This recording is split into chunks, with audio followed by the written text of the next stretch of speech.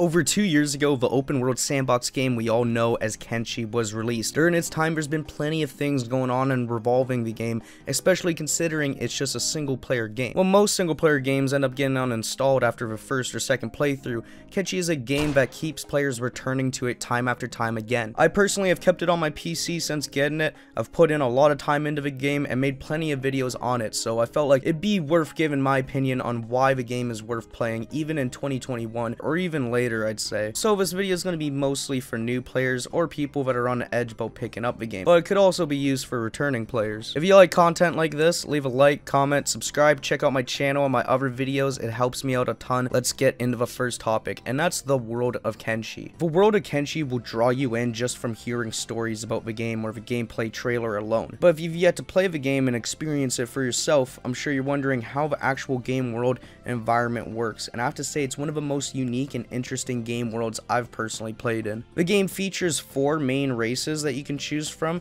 These all have different factions and civilizations as well as sub-races, and all these different factions go and spread up across the map. They all follow different rules, have some religions or ways of life. Starting the game, you have a lot of variety and choices in your adventure.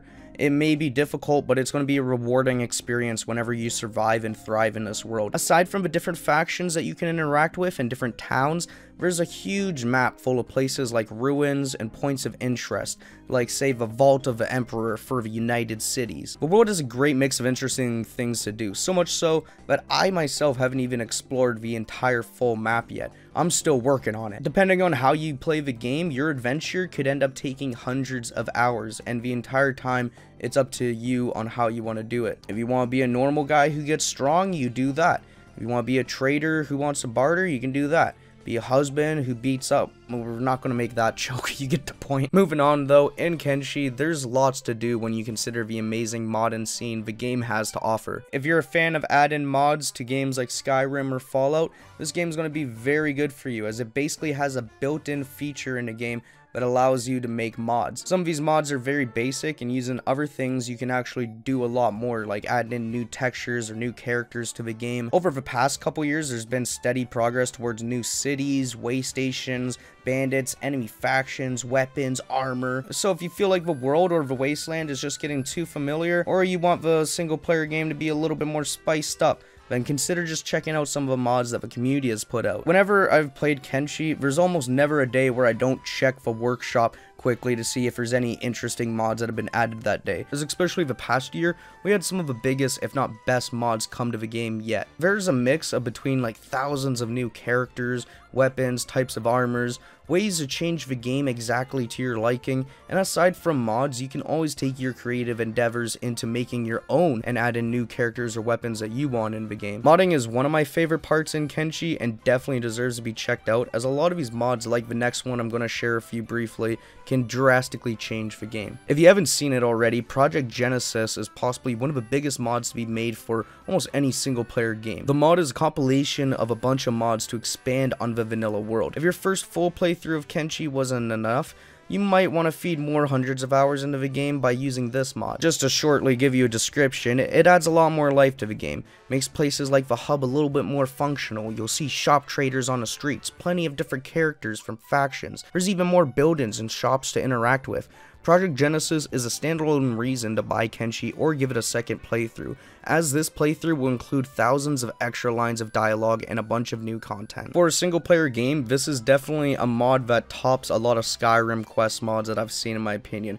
as it completely changes the game and gives you a new kind of experience. And next, I just want to talk about learning, mastering the game, and a bit about the game's mechanics. While currently, there aren't really speedrun categories for the game, that doesn't mean you can't try and speedrun this game or at least try and be more efficient and figure out the game's mechanics. Things like RNG are a little bit at play sometimes as you can maybe find a small bandit group which is reasonable and nets you some nice XP making you stronger, or run into a massive groups of cannibals who kidnap you and eat you alive. Depending on where you are both on the map and in the game and level of stats, this will determine how great of a chance you have surviving and making it back home. Each character in your faction has their own stats potential to get fucking killed, which makes the personal storytelling for the player a unique and engaging experience. On top of this, the game has base building and base defense, as you deal with the factions and races inside of the game. This is one of my top favorite parts about Kenshi as well, picking a nice spot on the map figuring out how I want my base to look, and then trying to survive there. I really like sort of tower defense games in general,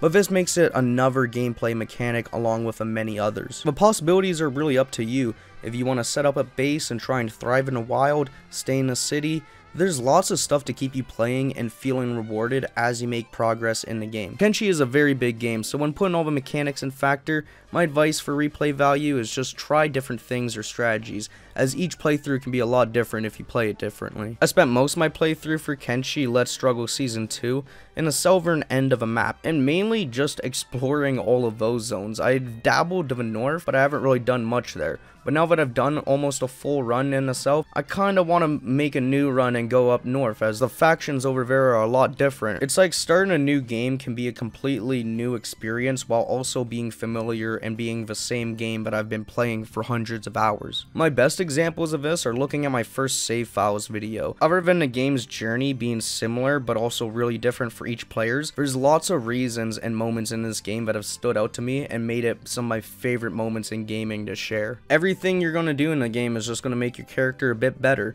Running gets you better athletics, fighting better fighting, building makes you build faster, it's very simple while also innovative, as very few things in the game you can do will actually make you lose progress. You're almost making progress every minute you spend inside of a game. And finally, leading on to the last point is the game's community both on YouTube videos and other platforms like Reddit, Discord, Facebook, etc. Kenshi is played by thousands of different players every day, and with so many players who have gone through to make videos on the game ranging from mod videos to guides, tips and tricks, as well as many different playthroughs to choose from. I saw the Kenshi Facebook group, which isn't really that big. It's still pretty active, it has a lot of people in it, and they're doing some parody Kenshi news content, which I'll try and find and throw up for you guys. Along with this, I've talked to a player who was on day 3000 in-game and had over a thousand hours on his save file. When I started making Kenshi videos, or when the game first came out, there were quite a few people making content for the game, but not that much. Mod videos, guides, any tips and tricks, especially commentaries were basically unheard of for the game. And if you compare it to now, you can almost find out everything you want to know about the game. From written guides to video guides, everything has been being worked on and being done by passionate players like myself. The game isn't as big as something like Minecraft, but it's definitely got its own niche and its own community around the game across many different platforms. So even though it's not a multiplayer game, Kenshi will always be like a single player World of Warcraft to me. As the feelings I've gone from playing the game day to day and the different struggles and challenges I'd have to face makes the game the most unique video game I've ever played. I've talked to people probably more about this game than I have any other online game. And whenever I try and compare it to any other game that's out right now, it's just I can't really do it. The game is so unique. It's in its own field. It's kind of like RimWorld, kind of like this, kind of like that, but it's not. It is very different from everything. So if you see the game on full price, it's around 30 bucks, but on sale it's around like 20 in Canadian at this time so the game's an absolute steal. I myself have around 500 hours of playtime in the game,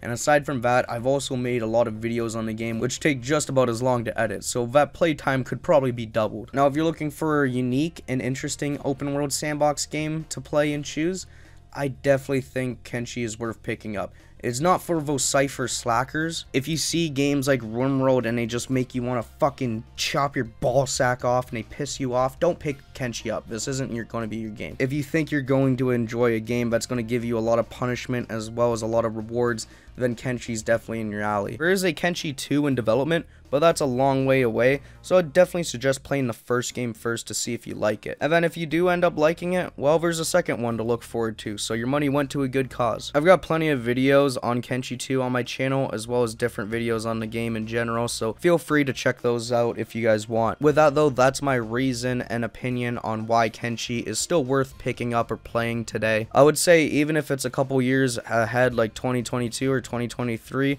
and you haven't played Kenshi before, it would be worth picking up even then. But anyways, my social medias are in the description. Subscribe, and I'll see you in the next one. Peace.